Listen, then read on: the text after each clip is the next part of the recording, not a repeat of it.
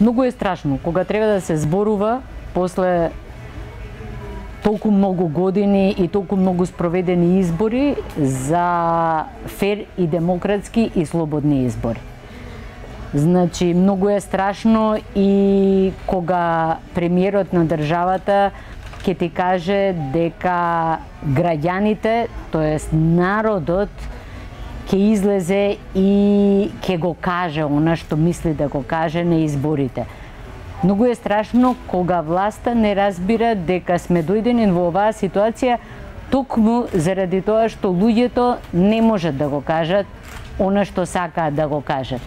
заради тоа што се плашат, заради тоа што не знаат дека смеат да го кажат или заради тоа што кажувале, кажувале и ништо не се случило и мислат дека фајде нема веќе откажување и се откажуваат од искористувањето на основните права.